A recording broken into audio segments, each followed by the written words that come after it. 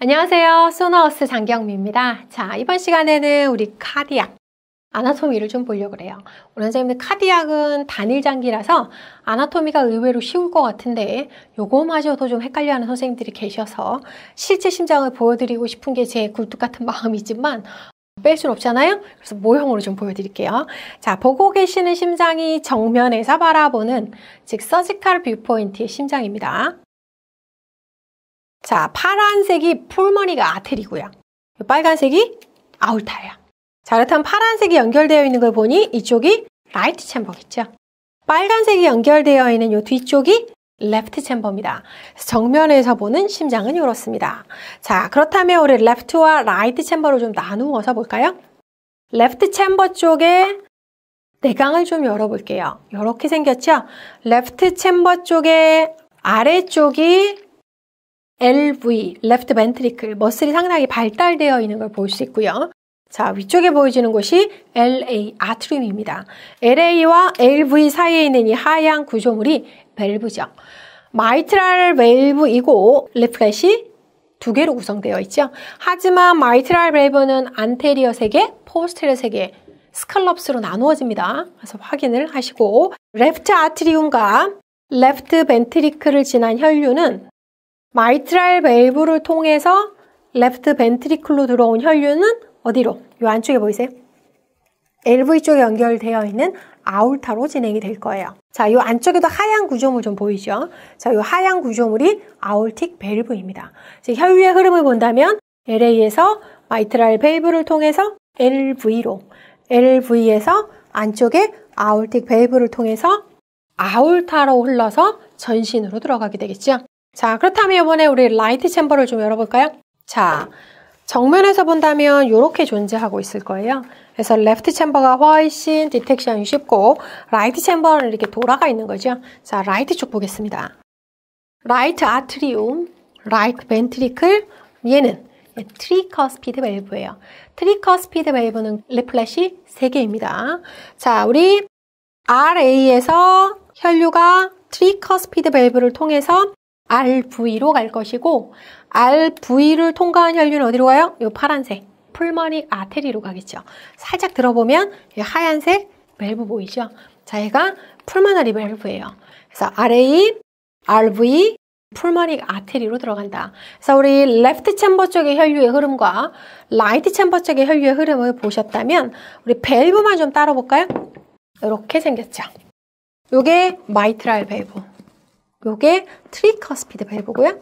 요게 pulmonary 밸브, 요게 aortic 밸브예요. 자, LV를 기준으로 systole, diastole을 명명하죠. 자, mitral 밸브가 closing 되어 있다. 그러면 얘는 systole이죠. 자, mitral 밸브가 닫혀 있는 systole phase에서 tricuspid 밸브와 mitral 밸브는 동일하게 closing. 자, 근데 aortic 밸브와 pulmonary 밸브는 동일하게 opening이죠. 왜? mitral 밸브가 닫혀져 있다는 얘기는 LA에서 더 이상 LV로 혈류의 흐름이 차단되어 있는 거죠. 대신 LV에 있는 혈류를 어디로? aorta로 보내주고 있는 기간이니까 mitral 밸브와 aorta 사이에 있는 문인 aortic 밸브는 활짝 열려 있어야 되죠. 마찬가지 right chamber도요. RA에서 RV로 보내주는 혈류는 tricuspid 밸브를 닫음으로써 차단시키고요. RV에 있는 혈류는 pulmonary artery로 보내주기 위해서 pulmonary 밸브가 오픈되어 있는 상황입니다. 즉, pulmonary 메인과 aortic 밸브는 open close를 동일하게 가고요. mitral 밸브와 tricuspid 밸브가 open close를 동일하게 갑니다. 그럼 대표적으로 mitral 밸브와 aortic 밸브는 반대로 간다는 얘기죠. 그래서 밸브의 open close phase 기억해 주시고 systole diastole의 명칭은 도구를 기준으로 LV를 기준으로 간다라는 거 역시 기억해 주십시오. 자, 다시 한번 볼게요. 심장은 인체 내에 요 정도 위치에서 요 정도 방향 각으로 놓여져 있을 거예요. 우리 에피칼 뷰는 이렇게 들어가죠. LV apex에 probe를 대게 되어 있고요. 제대로 위치만 잘 잡으면 probe로 LV의 pulsation이 느껴지죠. 자, 지금처럼 left chamber가 전면으로 위치되어 있고 right chamber가 후면으로 돌아가 있어요. 그래서 항상 우리가 echocardiography view에서는 right chamber로 구현하는 게 숙제이죠. 전면에 나와 있어도 보기가 쉬울까 말까인데 후면에 돌아가 있으니 right chamber에 대한 평가는 늘 한 발 느리게 발전되고 있는 것 같습니다. 자, 다시 볼게요. 현재 보고 계시는 chamber가 left chamber. 살짝 들어보면 aorta로 LV에서 연결되는 거 보이시죠? 한 바퀴 돌려서 반대쪽 tricuspid 밸브를 기준으로 right chamber, pulmonary artery로 연결되어서 들어가는 걸 볼 수 있을 겁니다. 자, 이 상태에서 제가 한 바퀴를 좀 돌려볼게요. right 쪽 chamber가 보이고 있고요. 심장의 후면입니다. 자, 우리 aorta를 통해서 ascending aorta에 우리 aortic arch가 나오고 있죠. 우리 이 부분에 대한 영상 구현을 할게요. suprasternal 이렇게 들어가서 보죠. 그래서 우리 aortic arch를 볼 때는 suprasternal view에서 많이 본다라는 거. 자, 이쪽이 left chamber죠. Left chamber는 뒤쪽을 통해서 aorta로 연결되어 있고요. 연결돼서 right chamber, right atrium이죠. Right chamber는 pulmonary artery로 연결이 된다. 항상 aorta와 pulmonary artery를 기준으로 해서 에이펙 축을 연결하시면 되고요. 심장이 살짝 왼쪽에 위치해서 오른쪽으로 축이 기울어져 있는 게 정상이죠.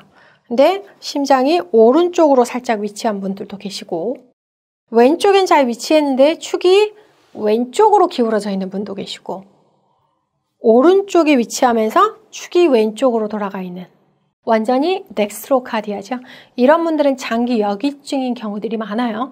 그래서 심장 말고 그 외의 장기들도 위치가 다 opposite, 반대 방향에 있는 경우들이 흔하다라는 거. 그래서 우리 심장의 anatomy를 모형을 통해서 좀 봤고요. 자, 그럼 우리 요 나와 있는 이 혈관들은 뭘까요? 아유, coronary artery죠. Right chamber 쪽으로 내려가는 main branch 하나, left chamber 쪽으로 내려가는 두 개의 main branch를 볼 수 있죠. 그래서 얘네들이 각각 territory로 갈라져서 Left chamber는 17개의 segment를 나누어서 우리 regional wall motion abnormality를 진단합니다. 그래서 우리 left chamber의 transverse parasternal short axis view에서 레벨별로 체킹하고요.